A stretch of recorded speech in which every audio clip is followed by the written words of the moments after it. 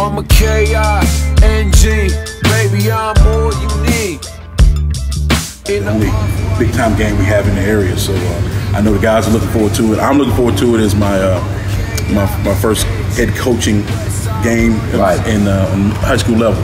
So it's, it's big for me personally too. Yeah, there's, I was, I was thinking there's a lot of firsts here with the big equation of getting back, the big occasion, and this being your first varsity game, being against a crosstown rival.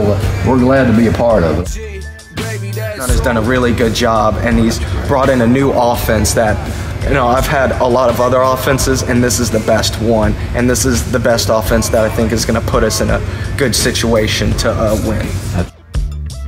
I'm a K-I-N-G, West Side Royalty. I'm a K-I-N-G, baby, that's all you need. I'm a